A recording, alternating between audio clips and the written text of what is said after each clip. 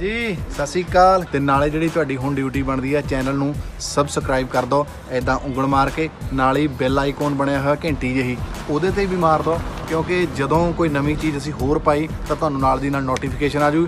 ਇੱਥੇ ਮਾਤਾ ਰਾਣੀ ਕਲੋਨੀ ਨੇੜੇ 6 ਸਾਲਾ ਬੱਚੀ ਨੂੰ ਘਰੋਂ ਚੁੱਕ ਕੇ ਰੇਪ ਕਰਨ ਵਾਲੇ ਦੋਸ਼ੀ ਨੂੰ ਪੁਲਿਸ ਨੇ 24 ਘੰਟਿਆਂ ਅੰਦਰ ਕਾਬੂ ਕਰ ਲਿਆ ਹੈ। ਉੱਥੇ ਹੀ ਇਸ ਮਾਮਲੇ ਦੀ ਪੈਰਵੀ ਫਾਸਟ ਟਰੈਕ ਅਦਾਲਤ ਵਿੱਚ ਕੀਤੇ ਜਾਣ ਦੀ ਮੰਗ ਕੀਤੀ ਹੈ।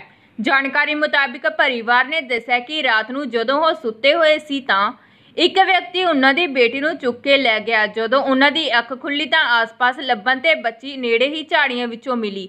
ਬੱਚੀ ਲਹੂ ਲੋਹਾਣ ਹਾਲਤ ਵਿੱਚ ਤੜਫ ਰਹੀ ਸੀ, ਜਿਸ ਤੋਂ ਬਾਅਦ ਉਸ ਨੂੰ ਤੁਰੰਤ ਸਿਵਲ ਹਸਪਤਾਲ ਭਰਤੀ ਕਰਵਾਇਆ ਗਿਆ ਅਤੇ ਪੁਲਿਸ ਨੂੰ ਇਸ ਬਾਰੇ ਇਤਲਾਹ ਦਿੱਤੀ ਗਈ। ਫਿਲਹਾਲ ਪੁਲਿਸ ਅਧਿਕਾਰੀਆਂ ਨੇ ਸੈਸ਼ਨ ਜੱਜ ਤੋਂ ਇਸ ਮਾਮਲੇ ਦੀ ਸੁਣਵਾਈ ਫਾਸਟ ਟਰੈਕ ਕੋਰਟ ਵਿੱਚ ਕਰਨ ਦੀ ਮੰਗ ਕੀਤੀ ਹੈ। ਤਾਂ ਜੋ ਦੋਸ਼ੀ ਨੂੰ ਜਲਦ ਤੋਂ ਜਲਦ ਉਸ ਦੀ ਕਾਨੂੰਨੀ ਕਰਤੂਤ ਦੀ ਸਜ਼ਾ ਮਿਲ ਸਕੇ। ਕੰਪਲੇਂਟ ਰਜਿਸਟਰ ਕੀਤੀ ਹੈ ਅੰਡਰ ਸੈਕਸ਼ਨ 364 376 ਤੇ ਪੋਕਸੋ ਐਕਟ ਇਹਦੇ ਚ ਆ ਬਬਲੂ ਨਾਮਕ ਮੁੰਡਾ ਹੈ, ਇਹਨੇ ਇੱਕ 6 ਸਾਲ ਦੀ ਕੁੜੀ ਨੂੰ ਉਹਦੇ ਵਿਹੜੇ ਤੋਂ ਚੱਕ ਕੇ ਰਾਤ ਨੂੰ 1:30 ਪੌਣੇ 2 ਵਜੇ ਲੈ ਗਿਆ।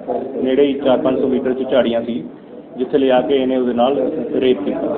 ਸਾਡੇ ਕੋਲ ਇਨਫੋਰਮੇਸ਼ਨ ਸੀਗੀ ਵੀ ਇਹ ਪਿੱਛੋਂ ਯੂਪੀ ਦਾ ਹੈ ਵੀ ਇਹ ਯੂਪੀ ਭੱਜਣ ਵਾਲਾ ਹੈ।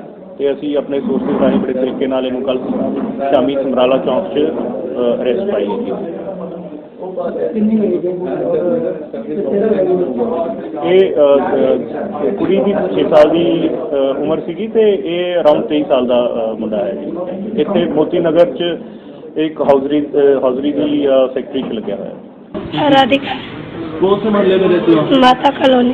क्या हुआ जो आप ये यहाँ पे आए हो? हम लोग रात में सोते थे अपने बेटी के लेके उठा के लेके चल गया।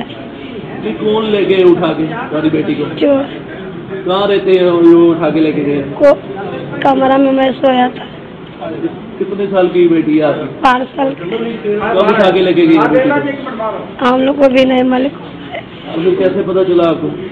हम मैंने उठा दो बजे पेशाब करने लिया तब मैंने देखा कि मैं गुड़िया नहीं है तब मैंने हल्ला किया लगा ਜੇਕਰ ਸੱਚ ਬੋਲਣਾ ਸੱਚ ਲਿਖਣਾ ਬਗਾਵਤ ਹੈ ਤਾਂ ਸਮਝੋ ਅਸੀਂ ਬਾਗੀ ਹਾਂ ਸੱਚ ਅਤੇ ਹੱਕ ਦੀ ਆਵਾਜ਼ ਦੁਨੀਆ ਦੇ ਹਰ ਕੋਨੇ-ਕੋਨੇ ਦੀ ਗੱਲ ਪੰਜਾਬ ਟੀਵੀ ਕਰੇਗਾ ਸੱਚ ਦਾ ਖੁਲਾਸਾ ਤੁਸੀਂ ਦੇਖਦੇ ਰਹੋ ਪੰਜਾਬ ਟੀਵੀ ਸੱਚ ਅਤੇ ਹੱਕ ਦੀ ਆਵਾਜ਼।